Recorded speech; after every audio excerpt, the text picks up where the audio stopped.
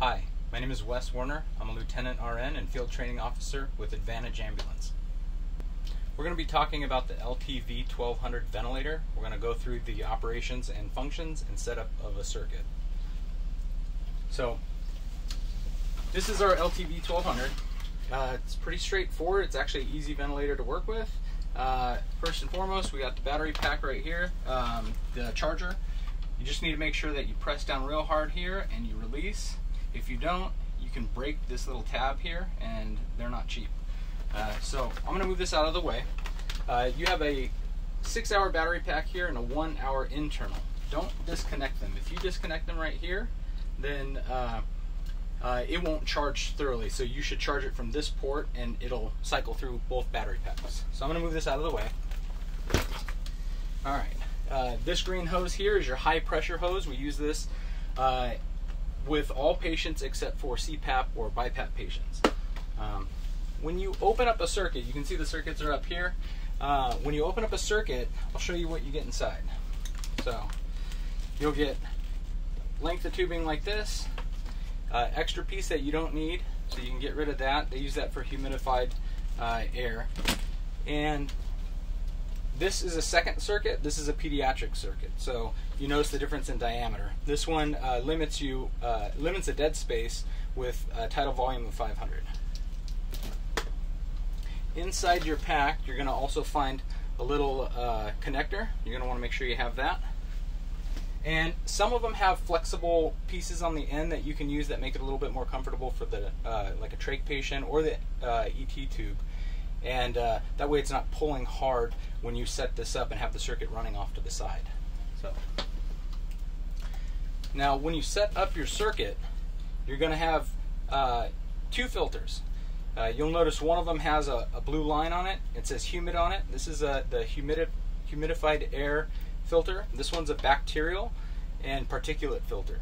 This goes directly on your vent, and you're going to use this, hooks up right into here, like that. So what I would recommend is to wedge these together first, then to put on this one. Get these all nice and snug. That way you can use it as a handle to pop it off. They're uh, only used uh, per patient, so you, you dispose them. I'm going to go ahead and take that one off since there's, since there's already one wedged in here, and uh, you just go right onto that. On the side here, I'm going to show you how to hook these little tubes up.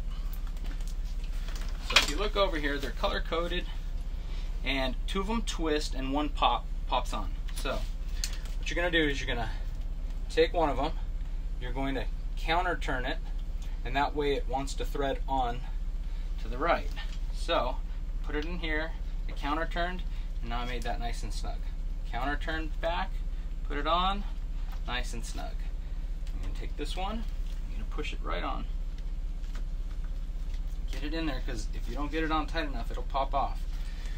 If you end up getting an alarm that says disconnect sense or DISC sense, uh, that most likely is that one of these are cross-threaded. Uh, so you want to pay attention to uh, it, that it's going on uh, straight and flush. Uh, if you get that disconnect sense, first check your circuit. Make sure your patient has chest rise and fall. Make sure that uh, the circuit itself is fine. This would come after. Uh, so if you, you see that you're ventilating your patient, no problems, and SATs are good, everything looks fine, then go over here and just pop these back off and put them back on. And uh, usually that's the, the main issue with these circuits. Um, so now that that's all hooked up, your high pressure hose can either go onto the back your D tank right here on your gurney tank, or you can go into the wall uh, on your main tank here. And there's a couple little divots here, uh, or little prongs. They go right in, just push it straight in. Okay, when you take it out, you just pull it out, but you got to twist that to pull it out. Uh, if you don't twist it, it's not coming out. You don't need to twist it to push it in. You just push it straight in. There's a couple of filters here uh, for airflow. Uh, just don't block them. Make sure that they're open uh, and you don't have anything occluding them. Uh, and then also you have these hooks. Most of our cases have these hooks set up. Um, sometimes they pop off. Just go ahead and flip them back on. All right, and you can hang your ventilator from the uh, the side rail here, and uh, or you can put it on the back of the gurney, whichever you like. Uh, a lot of times I'll just put it on the back. Um, all right, so going through it.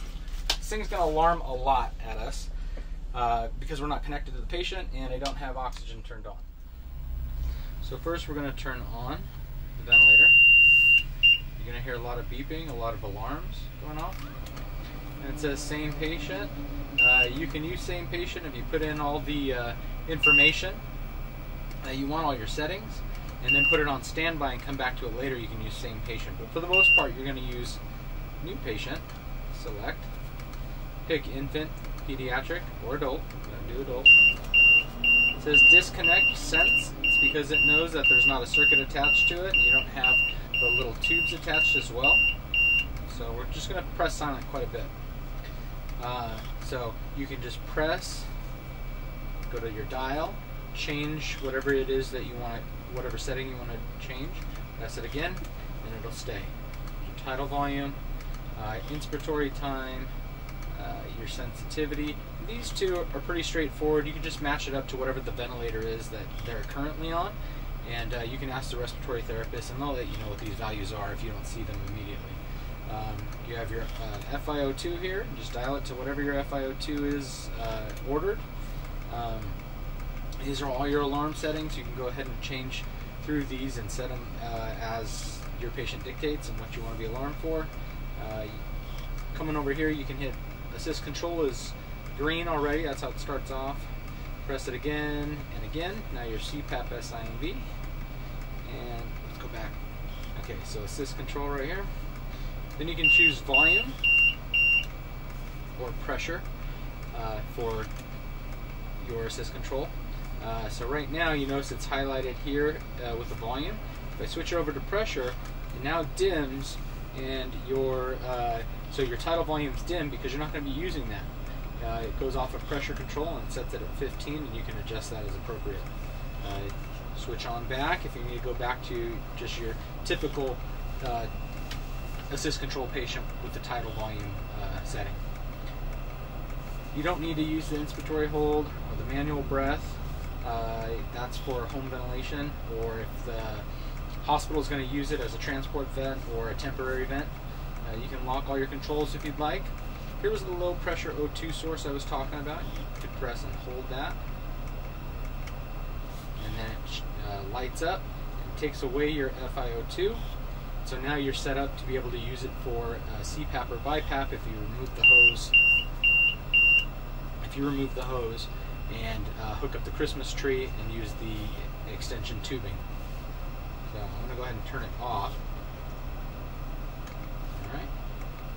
And now you're back with your FiO2 and you can go ahead and adjust that. Um, when you have a an alarm that goes off, and is flashing at you, you'd have to double click it and it'll go away. It just wants you to acknowledge it. But because this is a continuous issue and, and problem, it's not going to go away and it's going to keep alarming you. Uh, but had you corrected that, uh, just double press your silence button and uh, it will remove that, um, that alarm. All right. So when you uh, set up for BiPAP or CPAP, we're going to switch over to the low pressure O2 source. How we're going to do that is you are going to get your CPAP bag. Uh, it's a black bag. You'll find it in your equipment checkout. I have it back here.